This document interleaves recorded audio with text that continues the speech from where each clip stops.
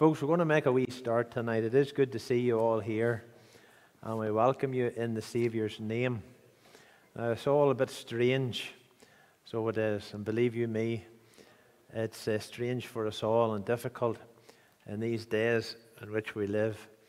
But we do thank you for coming, and we do welcome you all in the Saviour's name. Now, at the very end, what we're going to do is uh, I'm going to ask you just to remain in your seat at the end when the meeting is over, and then the stewards will show you uh, uh, to the door. They'll, they'll, go row by row out.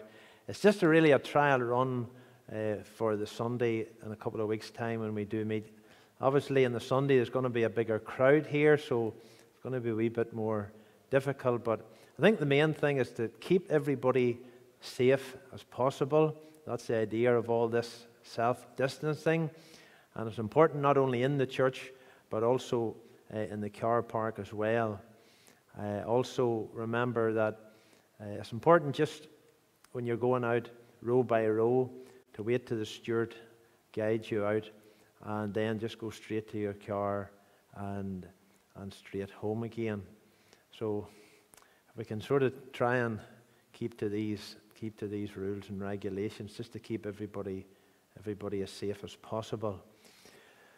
Well, let's all unite our hearts together in prayer and let's seek the Lord's face and let's pray that the Lord will come and be with us tonight and bless His word to all of our souls. Our loving Father in heaven, we do thank Thee and praise Thee for gathering us into God's house once again this evening. We thank Thee, Lord, for the way that You have kept Your hand upon us over these past months.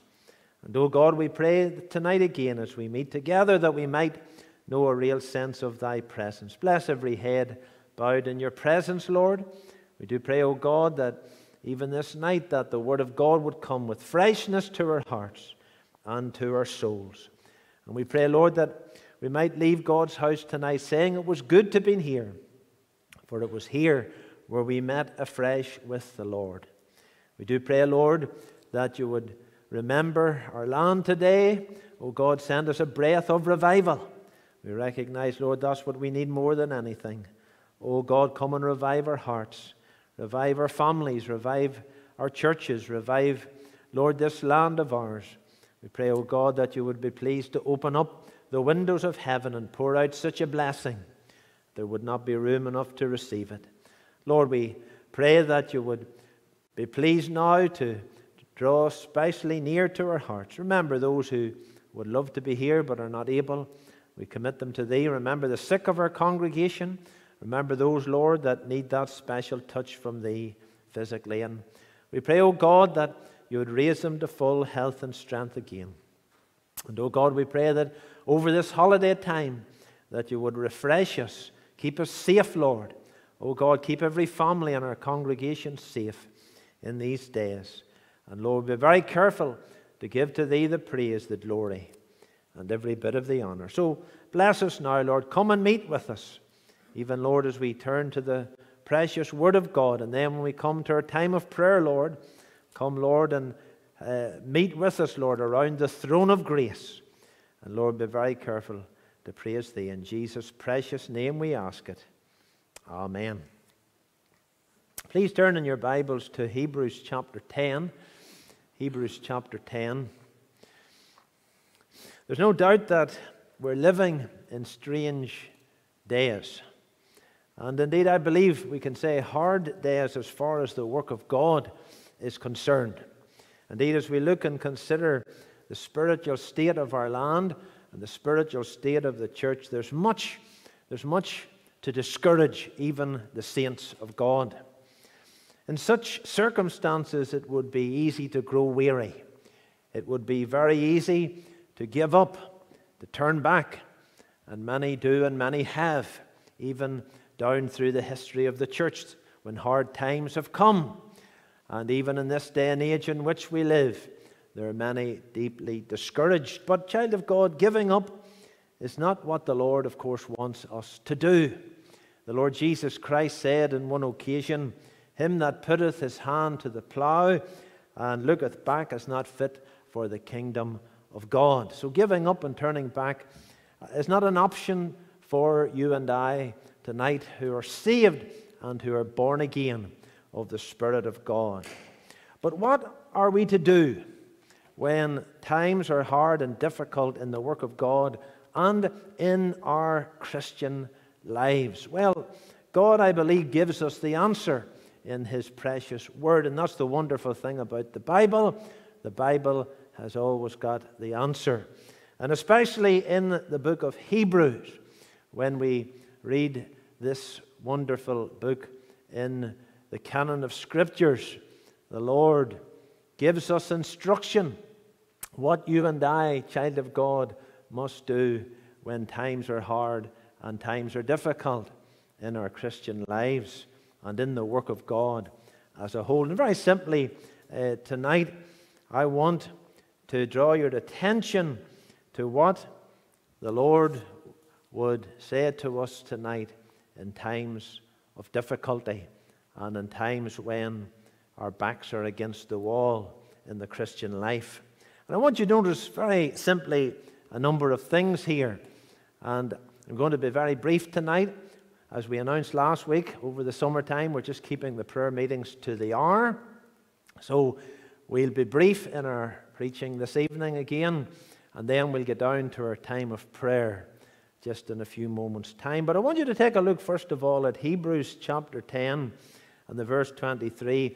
The first thing you'll notice here, it says, Let us hold fast. I want you to underline especially those four words in the text. But the whole text is a wonderful verse of Scripture. Verse 23 Let us hold fast the profession of our faith without wavering, for he is faithful that promised in the time of trouble, in the time of distress, when things are hard and difficult in the Christian life and in the Christian in Christian service, we are not to let go. We are not to give up. We are to hold fast the profession of our faith without wavering. Why? Well, the answer is given in the text for he is faithful that promised. My, isn't that a wonderful text of Scripture tonight? Wonderful text to encourage us in our walk with God, even in this 21st century in which we live. And what has God promised? Well, I'm sure that you could quote the promises of God in the Bible just as well as I can quote them. He has promised that He will give us strength in our time of need. He has promised that He will never leave us nor forsake us. He has promised that He will keep us as the apple of His eye.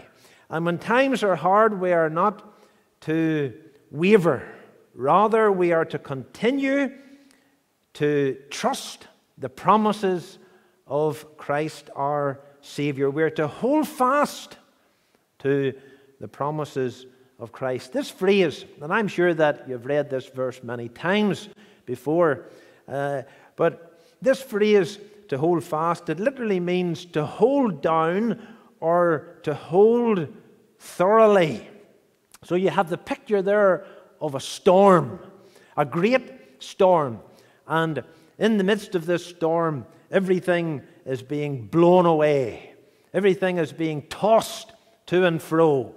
But the picture is this that when the storms come in the Christian life, that the child of God, instead of being tossed about with every wind of doctrine, we're to hold fast, we're to hold down, we're to hold thoroughly. In other words, we're not to doubt the promises of God when the times are hard. Our faith in the promises of God should get stronger when the hard times come.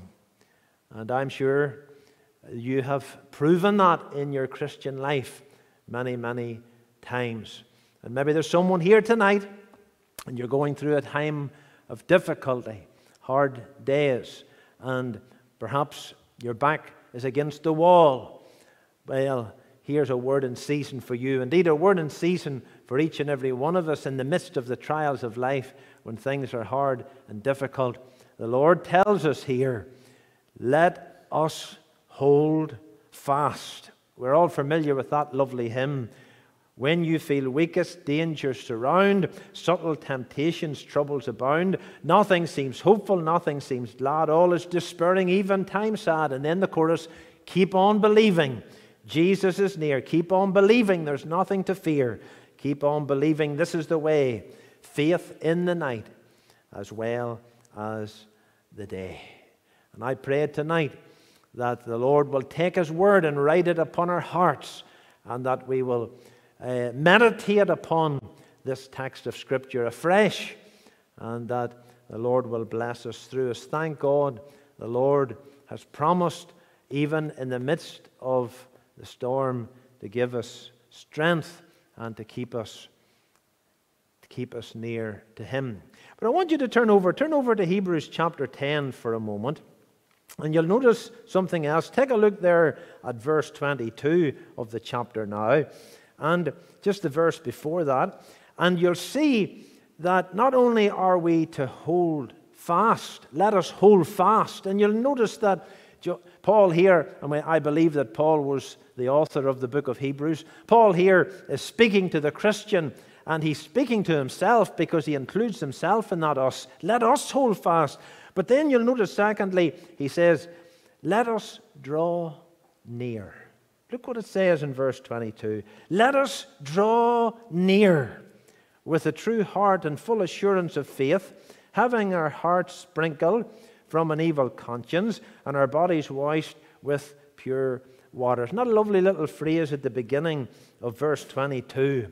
Let us draw near. When times are hard, let us draw near to God.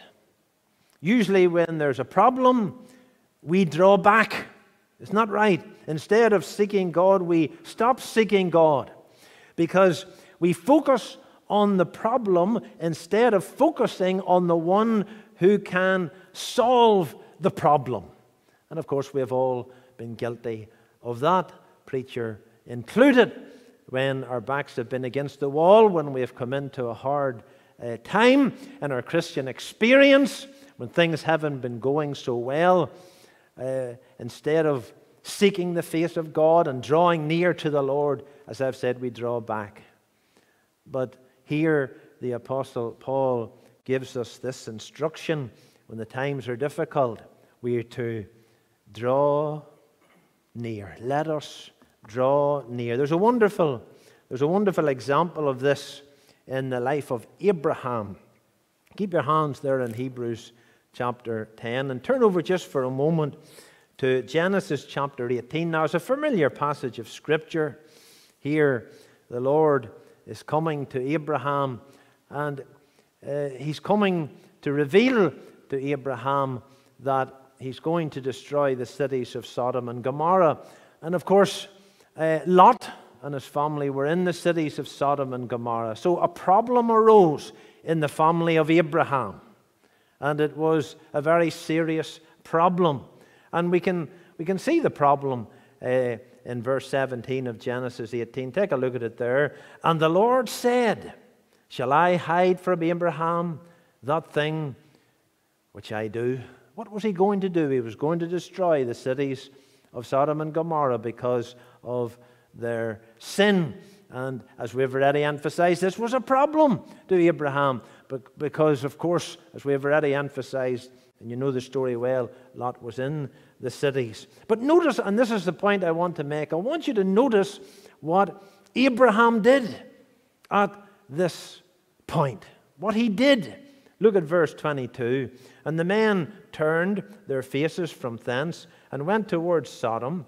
But Abraham stood yet before the Lord. Now, you'll be aware that there were three men. One of them, what I believe, the Son of God. I believe this is one of the Old Testament Christophanies that we have often spoken about. An Old Testament appearance of the second person in the Holy Trinity. Because it says that two of these men, uh, they went towards Sodom. Uh, but look what it says about the third man. It says, But Abraham stood yet before the Lord.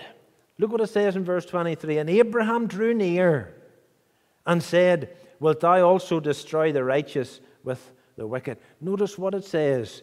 Abraham drew near. He drew near. Oh, child of God, in the midst of the difficulty, in the problem, when the trial comes, that's what we need to do.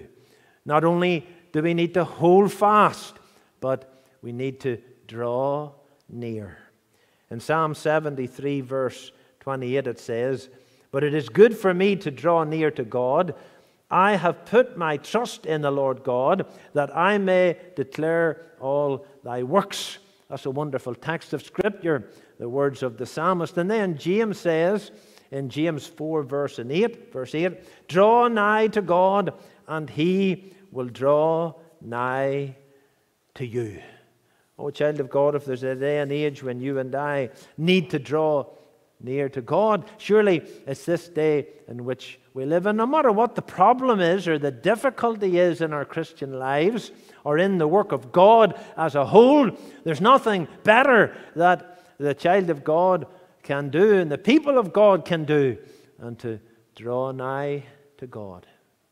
Draw nigh to God. And of course, that's why we've come together here tonight to draw nigh to God, to pray that the Lord will come and bless in our lives and in our families and in our churches and in, in our land. And oh, how our land needs uh, a spiritual awakening even in these days in which we live. Uh, turn over to Hebrews chapter 4 for a moment. In this text, we see the first two points that I have made, and they're brought together. This point of let us hold fast and let us draw near. You can see it all coming together here in Hebrews chapter 4. Look what it says in verse 14. Again, they're familiar words, I'm sure, to most of us. But look at verse 14. Seeing then, Hebrews 4, seeing then that we have a we have a great high priest that has passed into the heavens, Jesus, the Son of God. Let us hold fast our profession. So there's the first point I made. Let us hold fast our profession. Why? Because we serve a living Savior, one who keeps his promises. Then look at verse 15. For we have not an high priest which cannot be touched with the feeling of our infirmities, but was in all points tempted like as we are, yet without sin. Look at verse 16. Let us therefore Come boldly unto the throne of grace. There we have the coming and drawing nigh to God, that we may obtain mercy and find grace to help in time of need. What do we do when trials come? What do we do when a problem arises, whether in uh, our families or in the country or in the church? We hold fast. We don't let go of the promises of God. Indeed, that's the time we plead them even more. And then we draw near. We draw near because we recognize that the Lord is the only one who can hear our prayer and hear our cry. But turn over to Hebrews chapter 6. There's something else I want you to notice here. I want you to notice, take a look with me there at verse 1 of Hebrews chapter 6. And you'll notice, thirdly, let us go on. It says here, therefore, leaving the principles of the doctrine of Christ, let us go on unto perfection, not laying again the foundation of repentance from dead works and of faith toward God. Underline that little phrase, let us go on. When the work of God gets hard, when our Christian lives get difficult, when our backs are against the wall, when we come into hard times, what are we to do? We're to go on. We're not to go back. We're not to stand still. We are to go on. Let us go on growing in grace. Let us go on serving the Lord. Let us go on doing what God has called us to do.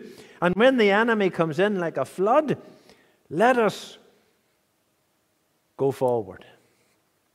Go forward. Of course, sometimes that can be the hardest time to go forward. It's easy to go forward and to go on when everything's going well, when there's no problems or difficulties in our Christian lives, when the times are easy. It's easy to, it's easy to go on in those times.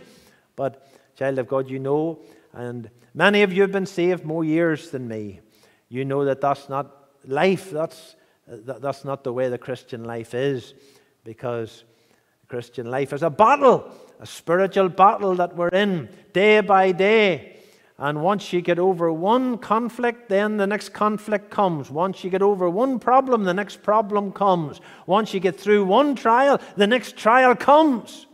What are we to do? We're to hold fast. Let us hold fast. We're to draw near. Let us draw near. But we're to go on. Let us go on. Turn over just for a moment to Exodus chapter 14. And with this, we'll finish and get down to our time of prayer. When the children of Israel were faced with a great problem, they didn't know what to do. But in the midst of their great problem, God gave them a command. Now, they had just left Egypt, and when they were leaving Egypt, everything seemed to be going so well. They were singing and praising the Lord for his redemption and for his hand upon them and delivering them from the hands of the Egyptian. But of course, very soon the first obstacle came their way, and that was the Red Sea. What were they going to do when they got to the Red Sea? And of course, if that was bad enough, if that wasn't bad enough, Pharaoh's army was marching down behind them. Pharaoh had decided well, he shouldn't have let the children of Israel go. Now he's going to, he's going to kill them. He's going to, he has sent his armies out to slay them. But what were they going to do? And you know, the, the thing is this that when this first problem arose, they started to murmur and they started to complain. But you'll notice what the Lord said to them in verse 15 there. Look at Exodus 14. And the Lord said unto Moses, Wherefore criest thou unto me? Speak unto the children of Israel that they go forward. That they go forward. You know, child of God, it took faith for them to go forward. It took faith. And it took courage. And it took resolve. But they did go forward. And of course, we know the story. The Lord wrought a mighty miracle, and He opened up the Red Sea. And of course, when you study the, the history of the children of Israel in the wilderness, every problem that arose, every difficulty that arose, uh, the Lord solved. The Lord solved every problem. And thank God there's a wonderful truth there. No matter what we have to face in life, the Lord will solve the problem. The Lord will solve the difficulty. The Lord will bring us through the trial. But of course, uh, the trial has to go, uh, we have to go through the trial. And that's a part of the Christian life. But what, we, what do we do when times are hard? And uh, it, it has been hard over these past three months in so many different ways. And I know that many of you, indeed all of you, have found it difficult in some way. But the Lord has brought us back into God's house again, and we thank the Lord for that.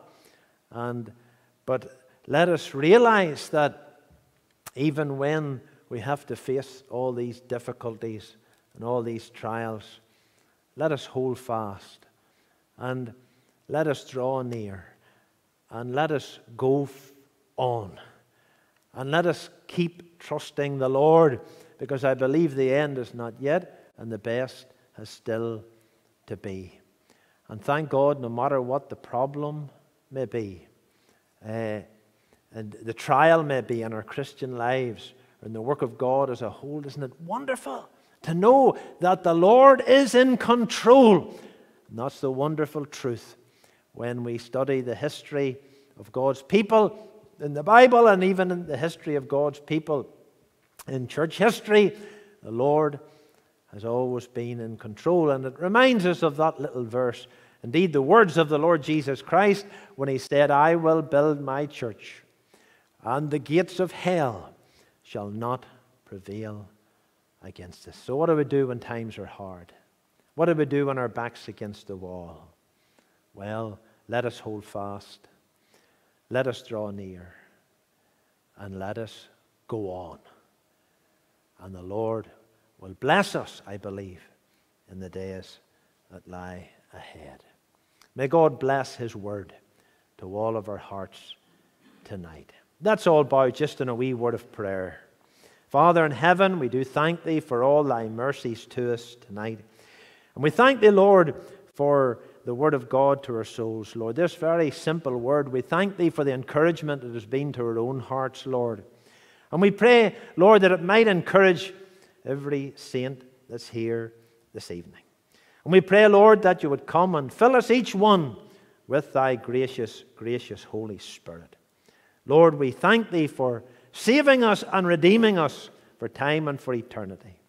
And, oh God, we pray tonight as we come to prayer that you would give us the spirit of prayer and the spirit of intercession. For in Jesus' precious name we ask it. Amen. Amen.